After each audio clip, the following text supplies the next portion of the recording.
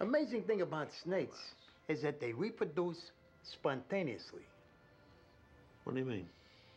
They have both male and female sex organs. That's why somebody you don't trust, you call a snake. How can you trust a guy who can literally go fuck themselves? To a geologist, Don't you think that expression would come from the Adam and Eve story? When the snake tempted Eve to bite the apple? Hey, snakes were fucking themselves long before Adam and Eve showed up, to you.